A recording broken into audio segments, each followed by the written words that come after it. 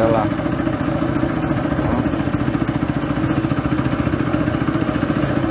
Olha aqui. Ali já marca de, outra, de outros acidentes, né? Que a ponte já sofreu, né?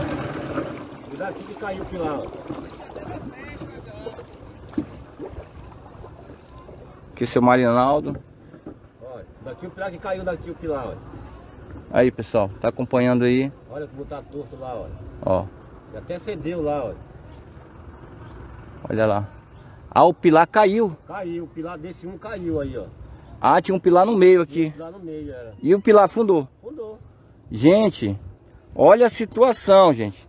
Aqui no meio tinha um, tinha um pilar, gente. Tinha um pilar aqui no meio, entendeu? Um pilar desses aqui, ó. Aqui no meio tinha um pilar. Igual, igual aquele ali, ó. Entendeu? E o pilar daqui, ó, cedeu, gente. O pilar não tem mais, ó.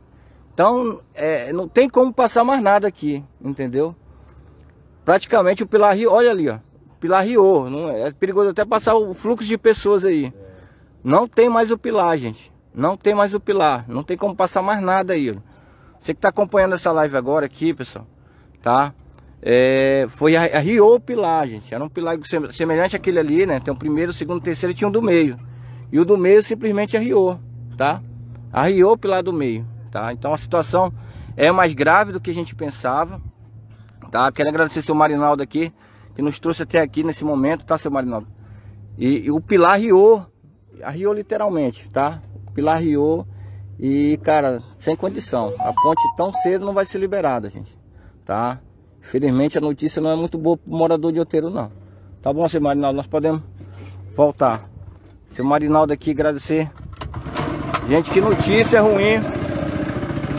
Hoje pro povo do Outeiro, tá?